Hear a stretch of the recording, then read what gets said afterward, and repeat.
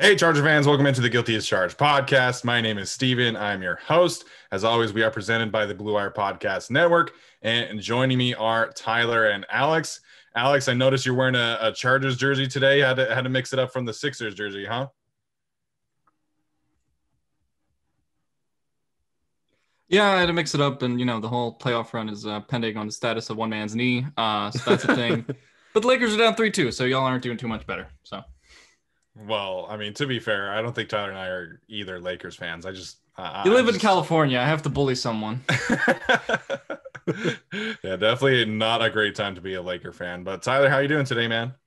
I'm a Lakers fan in the sense that I do live in California and I'm not rooting for the Clippers. So by process of elimination, I'm a Lakers fan. Uh, I'm doing very well. I'm not doing as well as my mom, who I found out weeks ago had bought AMC because she just thought it would be a really good long-term stock.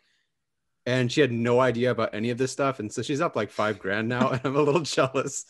Hey, well, according to Drue Tranquill, that's a poor decision. Um, Oh, so well, yeah, that's what our I've, I've had. I've, had, I've had a mixed history with that because I bought it at twelve dollars, then I sold it, then I bought it at thirty, and I'm up thirty dollars now. So well, there you your That's money. Pump it. news. well, uh, how's your mom going to spend that extra five grand? Um, I don't know. On her horse. Buy a horse. she got, Uh, yeah, pretty much. nice. And uh, and how's your sister doing after the the horse accident? Uh, she's doing as well as far as I can tell. Uh, if she had more pain, she would have had to go in to get uh, an MRI to see if it was like a hairline fracture. She did not go in, which means I believe she's doing better. So there's good news on that front. Absolutely. That's awesome to hear. So, well, we're going to have a fun conversation today, you guys, about uh, the press conferences. There were five press conferences yesterday uh, as the Chargers have uh, maintained their OTA schedule. This is the second week of OTAs. Um, and just really briefly, I wanted to touch on the fact that uh, the Chargers got some extra veterans to uh, report to OTAs this week Matt Feiler, Chris Harris, Jerry Tillery, Justin Jones. Um, and I think I'm missing someone else, but uh, they all reported to OTAs this week, which means the Chargers are slowly getting to uh, 100% attendance before mandatory mini camp, which I think starts in a couple weeks for them. Uh, so just wanted to, to point that out really quickly. Uh, but I think the right place to start here is the the comments made by Kenneth Murray and Nasir Adderley. Um, you know, first and foremost, Kenneth Murray, you know, touched on his health. He said that he he does feel like he's 100% healthy after uh, his January shoulder surgery, but he has not been fully cleared. Uh, but good news that he is healthy. But both Murray and Adderley pointed out that you know they felt kind of out of place in the Chargers' previous scheme, and they both feel like the new scheme is going to kind of unlock their potential, allow them to be more aggressive and, and play more downhill, which is what uh, Kenneth Murray has talked about. So, um, I Tyler, I think you had Kenneth Murray for a stat prediction um, uh, that, that we did on our, our live Q and A. So, what was kind of your reaction uh, to hearing Kenneth Murray say, "Hey, man, like I'm ready to be more downhill. I'm ready to be more aggressive." Um, does that change any of your predictions? What do you think of that? I so my predictions were he'd about double his pass rush attempts and the pressures and sacks and whatnot. I don't think he had any sacks. Maybe he had one, but I um, think he had one. Yeah, so it, it doesn't really change a whole lot for me. Although I said that you know the jump between where he was at like six percent and where the the the Rams linebackers blitzed last year at like eleven or twelve percent, like even just doubling that, it's not going to be like it's significant in the sense that it doubles, but I don't know how much. But Yeah, I I still think like Murray is a different linebacker than those guys, and that is what he does so well. It was very obvious to all of us. And granted, I don't know what his role would have been last season had Tranquill stayed healthy. Perhaps he would have had more attempts, Mm. but looking at Bradley's history through the years, it's unlikely. I don't think it would have been very significant. So, so to hear yeah, that he is going to play more downhill and that he's he's working on getting off of blocks and watching a lot of tape. His best game by far was against New England. He was just firing on all cylinders for whatever reason, maybe because Cam Newton can't pass the football. He just was attacking that line of scrimmage and he played so well in that game. And if we can get more like that, I believe uh, Brian Baldinger just broke down that game a little bit on Twitter. Yeah. we can get more like that, I'm stoked. And you know, one of the the ways that Staley schemed guys open or schemed Aaron Donald one on ones was with Floyd and um, I forget number 41, but the other linebacker on that team, and they would come off the edge, and Donald would have his free one on ones. And if Murray is part of that equation to help someone like Joey Bosa get his one on ones, I think that's perfect. Not only do you have to actually, you know, take Murray into consideration when you're the quarterback or the offensive lineman or whatever, but it's also, you know, you're going to help out Joey Bosa. So I love the ripple effect. Let him do what he does best. And that frees up Joey Bosa. It's a win win and it's music to my ears and music to his ears. And I never saw a happier guy like, t- Yeah. like openly trashed Gus Bradley, but not really. yeah. Like he was like, that sucked last year. I don't want to do that again. right. I love this scheme. Please don't fire this coach. So I love what I'm hearing so far from him, and I'm excited. Yeah, and I think part of the thing to consider is also that you know he was kind of playing injured last year, and we saw that Hmm. he did get some off-season shoulder uh, shoulder surgery. You know, I don't have like a super hot take on that, other than you know if you are playing a whole season with a partially bum shoulder, that may make your experience playing in a defense less enjoyable. Uh, so I think that definitely is part of it. Yeah. So uh, it's good to hear that he's healthy, and you know this team is going to need him. Uh, obviously, with the departures of, of some of their key key linebackers last year, like Perryman and Vigil. So uh, I think he's going to step up and definitely take on a bit more of that pass rushing responsibility. Um, as for the Adderley part of it, you know, I think they're hit. hit I think more particularly with Derwin James being back, uh, is just to play that deep safety a little bit. I, you know, hope that he kind of, you know, is a better tackler. That's really kind of what we're waiting on uh, in terms of seeing him live. So if he can come downhill a little bit uh, and, you know, just make good tackles, like that's honestly all I expect of him fr- from that standpoint. I don't expect him to be some elite ball hawk safety, but just be a good enough complement to Derwin. And I, I think that would be a win. Yeah, it would be. And, you know, at some point in the offseason, we'll talk about, you know, breakout candidates. And I'm sure Adderley is going to be one of those players that we talk about.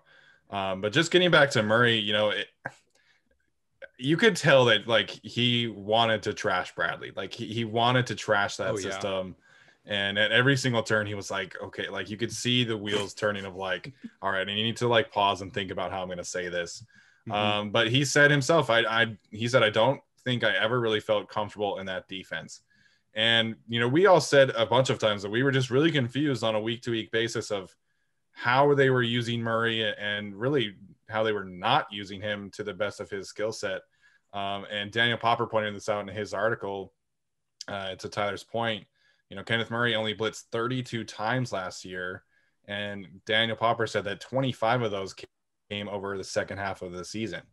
So, it, it- you know, just kind of looking back on things, I hate to keep trashing, you know, the previous regime, but it, it's so frustrating looking at the way they used Murray, the way they used Adderley, the way they, you know, I'm working on an article about Jerry Tillery as well.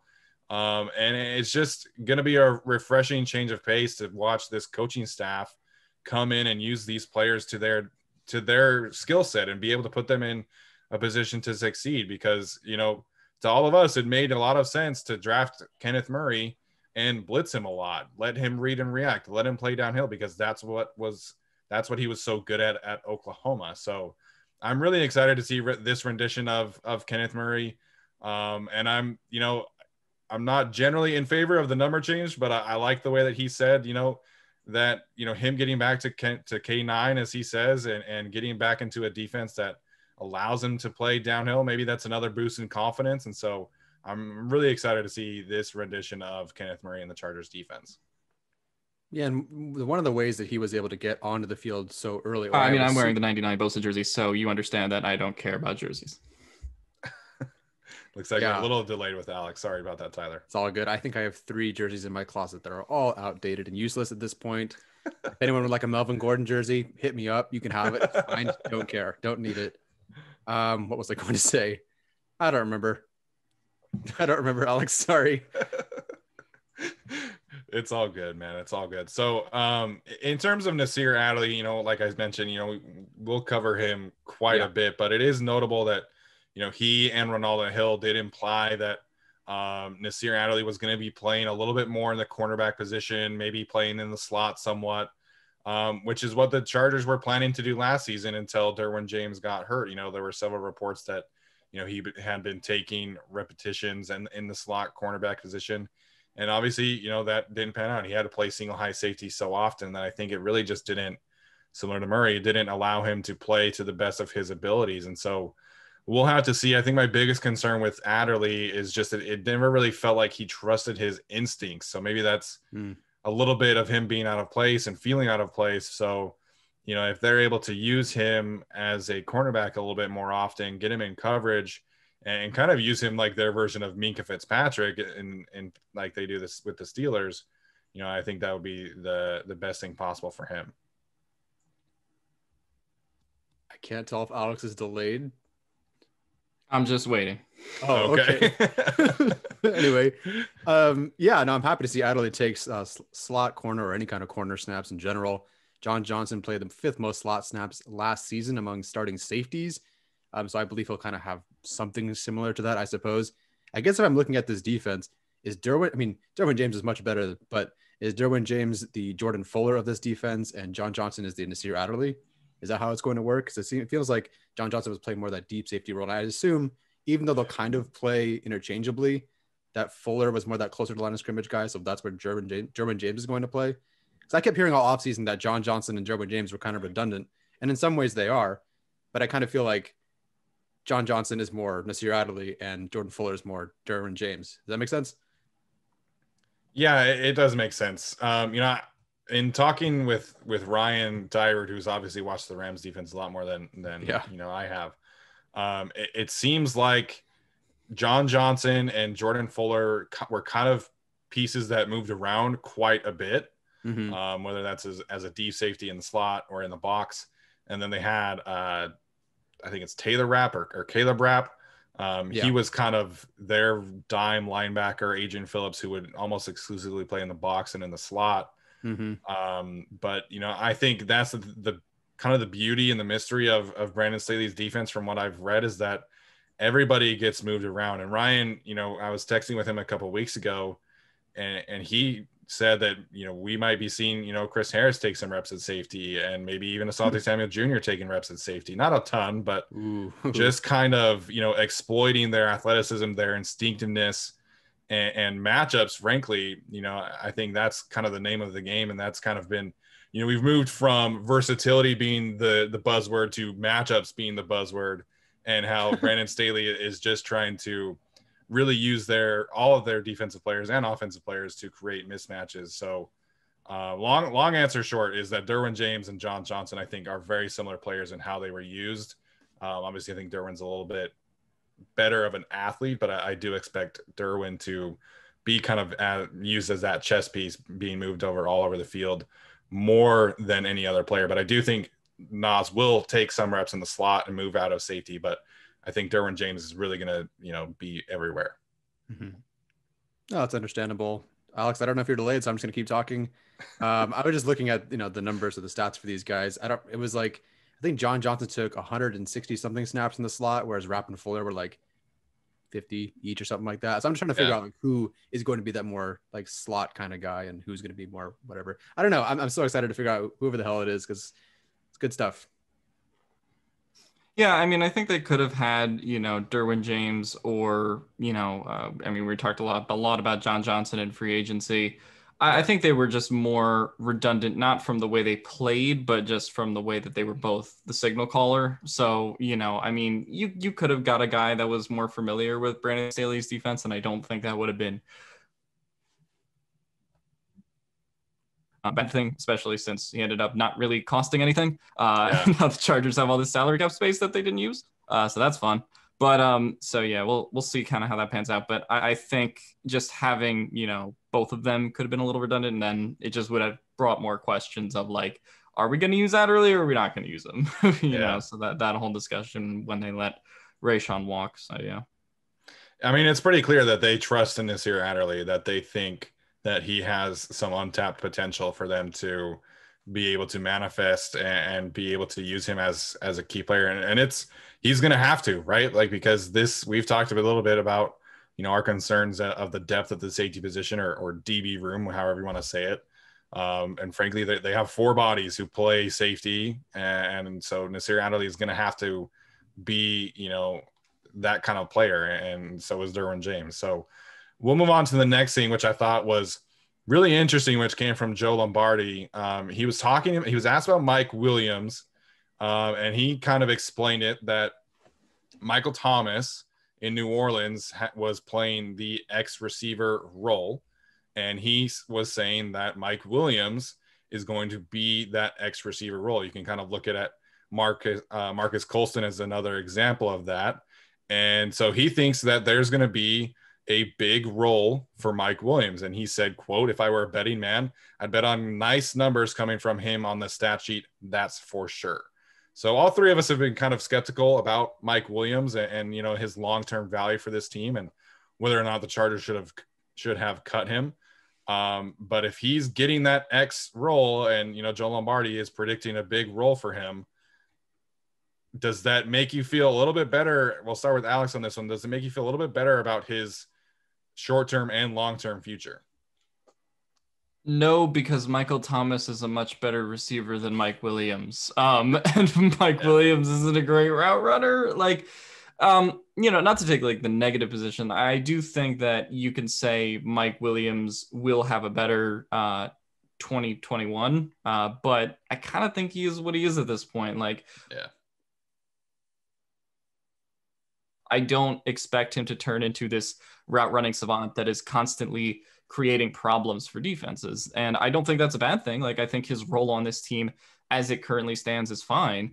Uh, I, I, don't think he needs to do necessarily any more or less than he's doing on this one year deal that he's on. Like, and frankly, uh, they do need him, uh, you know, as the wide receiver too right now, unless they were to make some Julio move or something that's not going to happen. So, that's you know what they need Mike Williams for. Uh, I, you know, if they're confident in him, they're confident in him. I just think it's a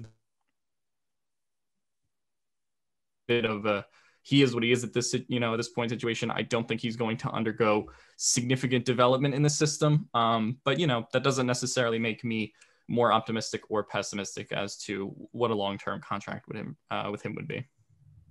Yeah, I'm, I'm kind of the same on this. I feel like the coaching staff has intentionally, every time they bring up Keenan Allen, it's followed by Mike Williams. We're going to have two premium wide receivers, Keenan Allen and Mike Williams. We have two guys, Keenan Allen and Mike yeah. Williams. So it's always felt like with this staff that they are going to have like both guys.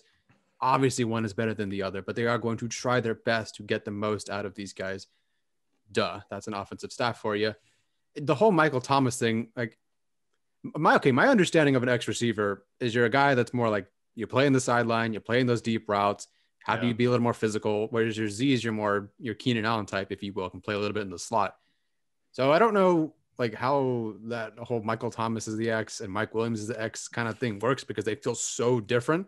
Right. I don't know. I traded for Michael Thomas last year from Alex, and I wasted that incredibly uh, by coming in second to dead last on fantasy football. So I didn't exactly get you know to figure out the Mike uh, Mike Thomas experience, but um, I don't know. This doesn't do much to, to move the needle for me. It's yeah. interesting to hear those two. Like if you told me, okay, you know, because we've been here saying all offseason, okay, Austin Ekeler is like Alvin Kamara, so Keenan Allen's going to be like Michael Thomas. So it's just weird that they would have Mike Williams and Mike Thomas in that same sentence. But I don't know. We'll see. Joe Lombardi has kind of preached the whole offseason that, you know, yes, that was that was the, these guys in in New Orleans, and I'm going to try to bring some of those things here. But those guys in New Orleans, you know, Drew Brees is not Justin Herbert. Right. And, you know, all these guys are not the same guys. There's obviously no Taysom Hill. Easton Stick is not Taysom Hill. And so I'm just, it's, it's just weird to have him put Mike yeah. Thomas and Mike Williams together. It's, it's really like, it doesn't move the needle for me, I guess. Like, I do think he's going to have a better year, but like, are they going to ask him to do more route running? And was, it, was no one asking him to do that before? Or is he just actually the same guy and it's kind of the same general role?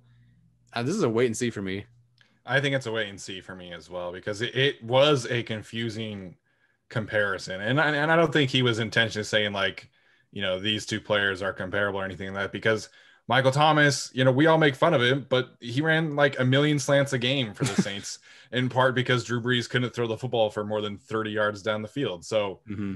The they might be playing like lining up at the X position, but they couldn't be two more different players like Mike mm-hmm. Williams as a jump ball guy, intermediate deep route guy, Michael Thomas. He can do deep ball stuff, but he's more of an over the middle route runner possession kind of receiver. So it is a little interesting to hear him say, like, hey, like, you know, I, I had this receiver who played the X role most recently, and Mike Williams is going to be doing that same kind of thing. And so, you know, it, it is going to be very interesting to see how this all shakes out. And he mentioned again, like several others have, that you know they're kind of trying to get a a melding of the mind, so to speak, between what he was running in New Orleans and, and Detroit and what you know Shane Day has done in San Francisco. And so, you know, we don't not everything is going to line up, you know, right across. I think the thing I think the the comparison I feel most comfortable with, I think, is the Kamara role to the Austin Ekeler role, mm-hmm. because I think those two have have very similar skill sets in terms of usage and ability as a receiver. So,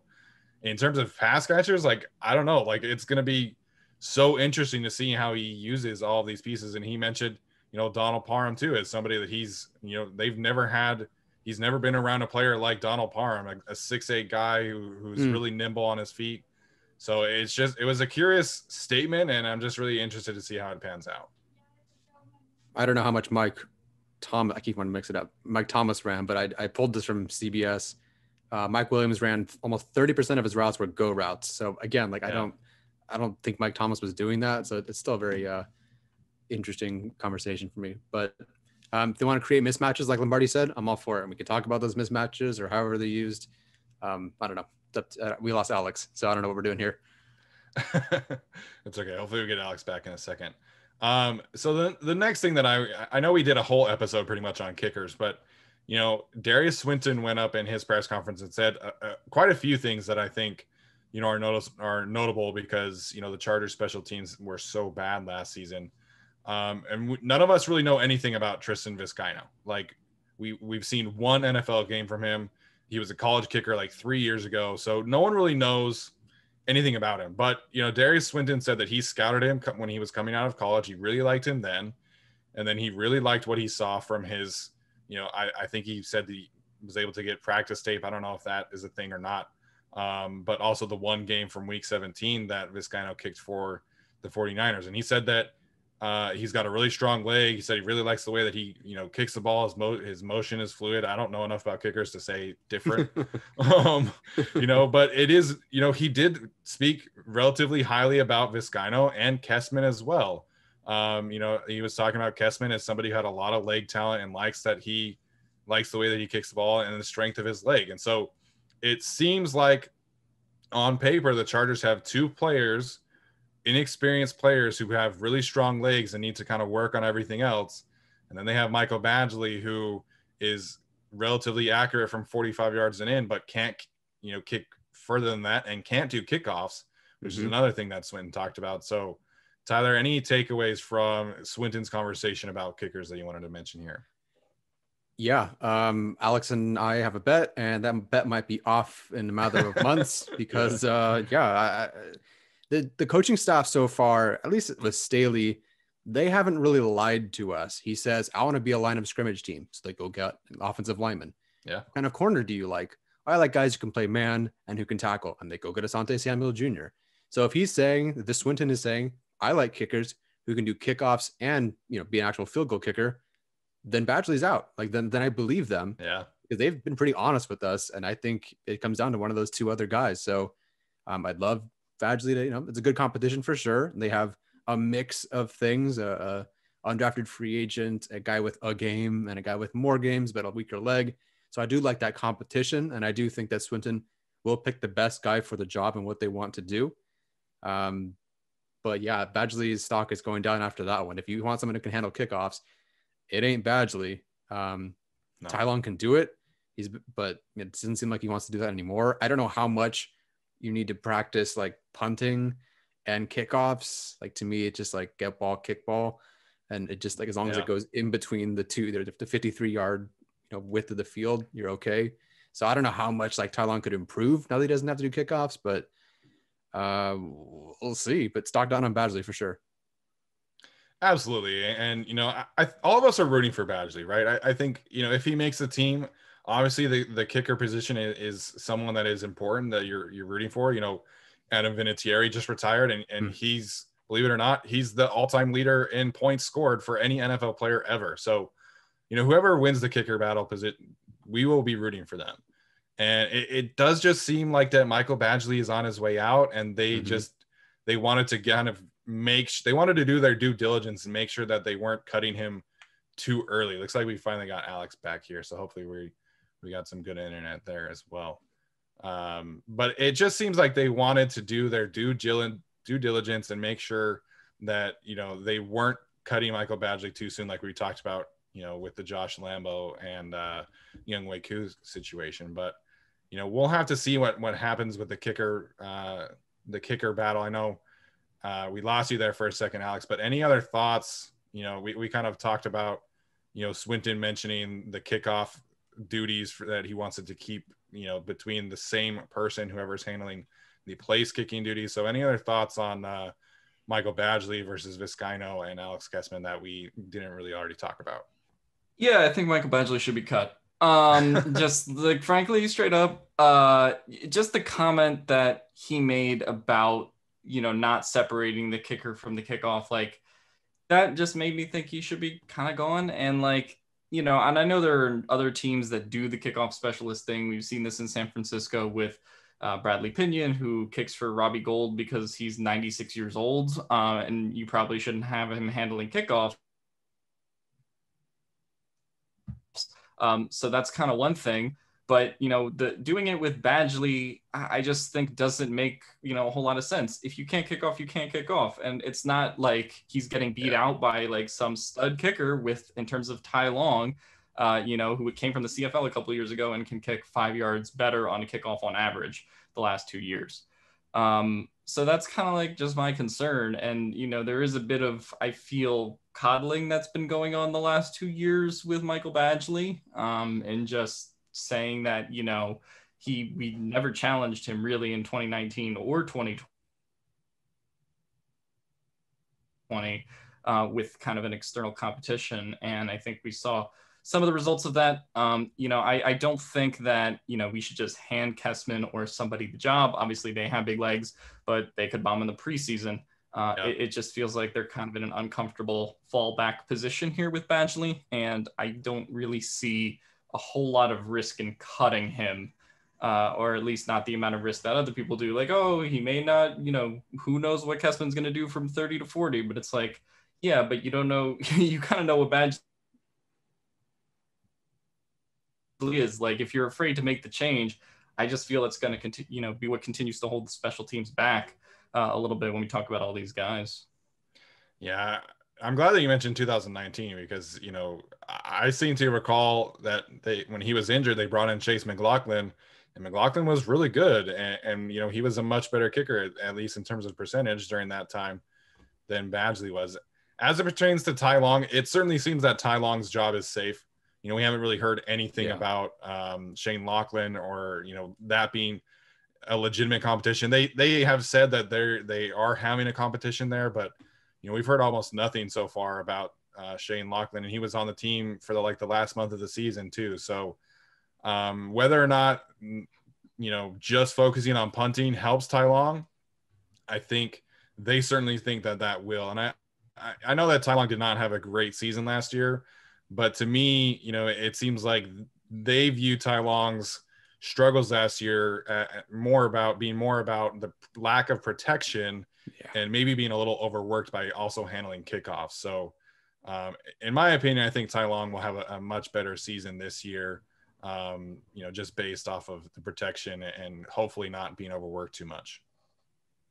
God, I hope so. Can we talk about another special teams guy, sort of, depending on his role?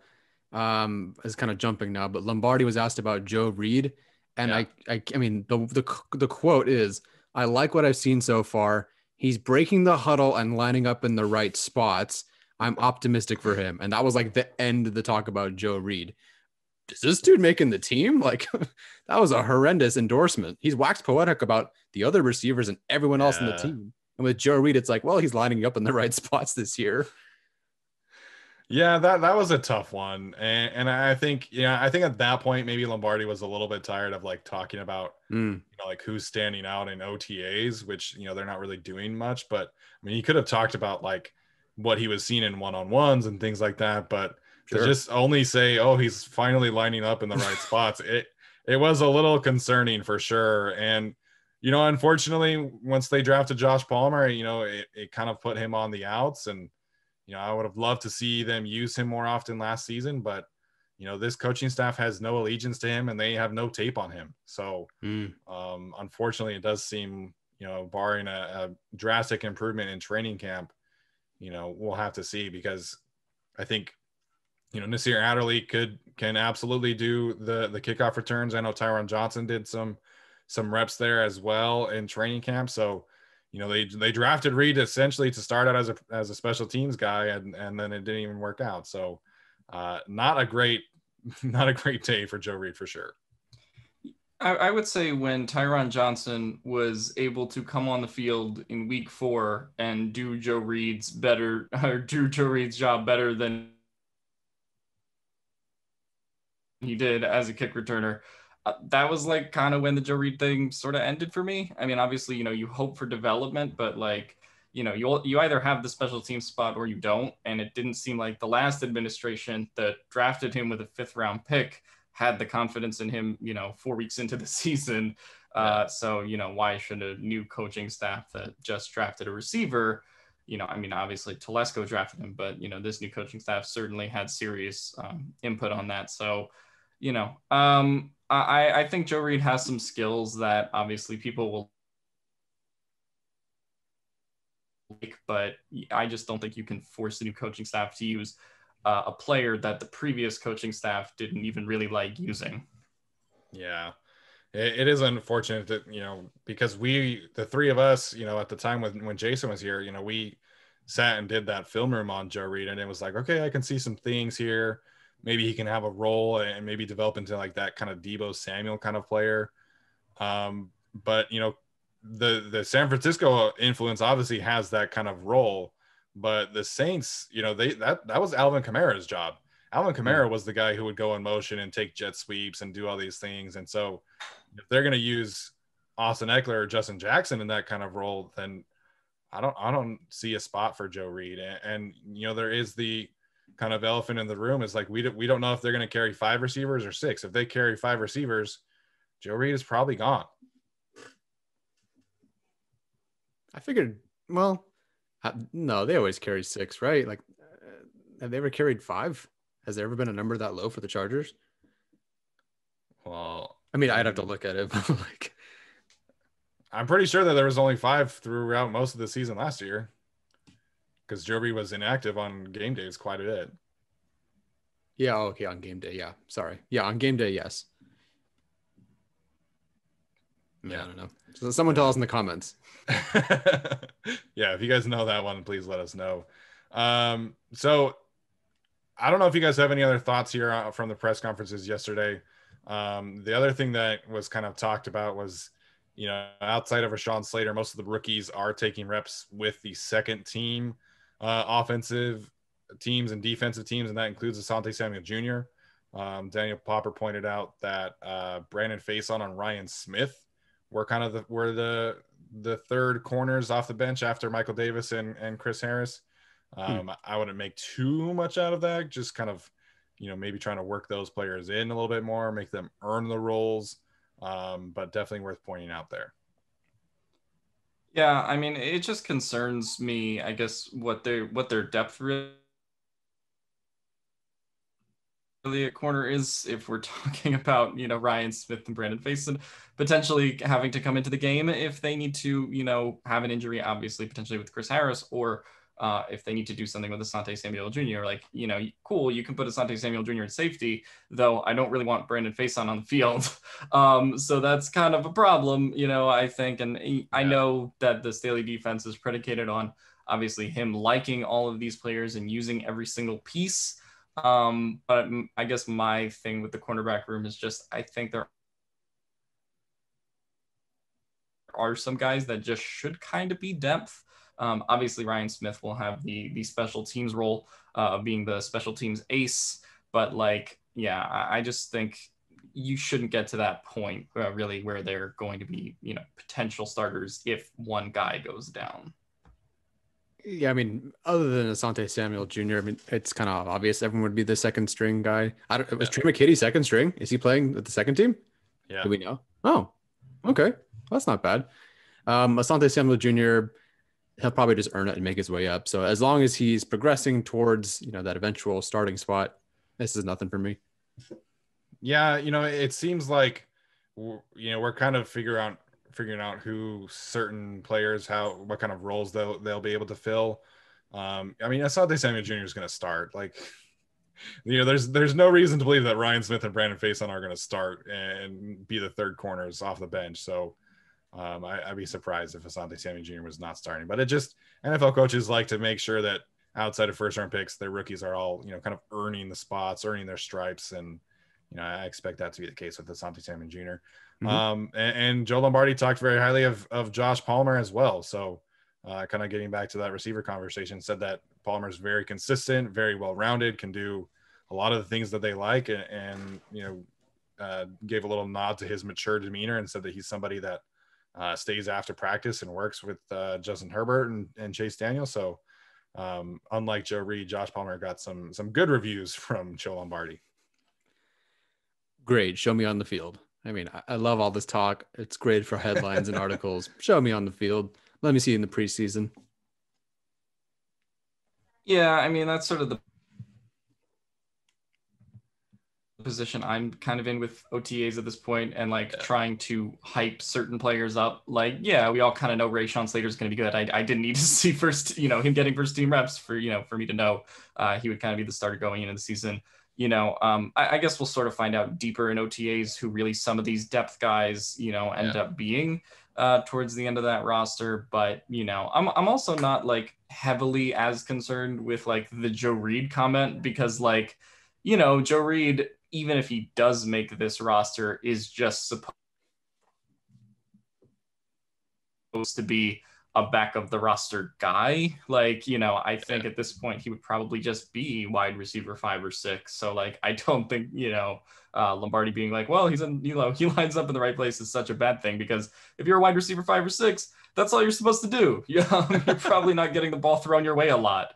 So I, I do think that that was just kind of my thought uh, on a lot of those like guys at the end of the roster. Obviously, you know, it's been complete silence on someone like KJ Hill.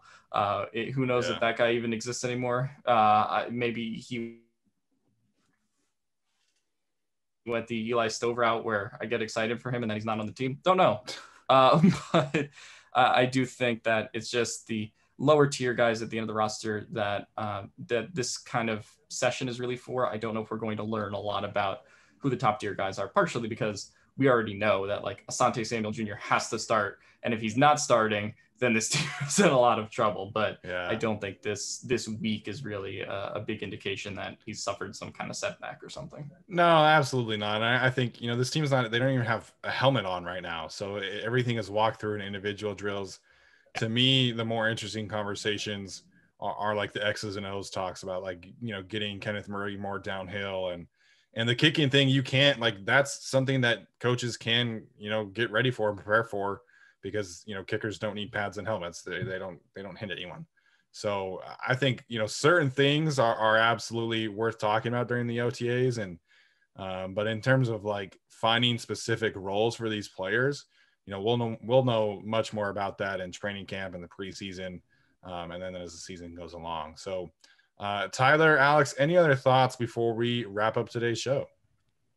Final thought for me is that Joe Lombardi talk. I mean, every freaking offensive corner talks about creating mismatches, but you know, Austin Ekeler was used in the slot or out wide 27% of the time in 2018 and 2019. 2020, that dropped to 19%. And he's a guy who, you know, only two drops on 104 targets in 2019, 10.8 yards per catch, 2.7 yards per route run, um, which put him second in NFL among starting receivers. And so for this for this guy, like put Keenan or not Keenan Allen, put Austin Ekeler out there, get him back to his role, get those mismatches. And the last thing I want to say is part of the reason I'm concerned about that Joe Reed comment is if I'm not mistaken, last season they talked about he couldn't figure out the playbook. That's partially why he couldn't get on the field. So I don't know if he's still struggling to get there. So for Mhm. that, for a diff, two different coaching staffs to be like, uh, he's trying to figure out how to line up in the right spot, and like, oh yay, now he's finally doing that. I'm a little bit worried. Yeah, I thought the Joe Reed thing was more about his route running last year. I might be wrong Hmm. about that, but maybe it's a route running problem and other problems. Uh, Yeah.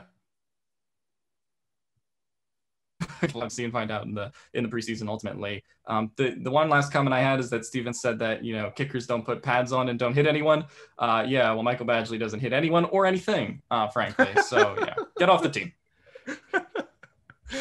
I love Alex's kicker takes, man. It, it's it's amazing, truly outstanding stuff there. Um, all right, guys, that's gonna do it for us today. Uh, we've got some really fun episodes planned for you over the summer. Uh, we're gonna talk, you know, just kind of general NFL takes and, and build some most valuable uh, offensive line units and quarterback units and secondary units. So it's gonna be a lot of fun. Um, just kind of taking into consideration, you know, the overall, you know, grasp of who these players are in the league. I think it's gonna be a fascinating conversation once we get there. So, as always, make sure and leave us a rating or review. We do really appreciate all of your support, um, especially the YouTube crowd. We, you know, we we are seeing more subscribers each and every day, and we do really appreciate that. Uh, keep doing that. Keep liking the videos and commenting and, and letting us know uh, what you think of our takes and stuff like that. And, we, and like I said, we do really appreciate that support. And we see you guys next time.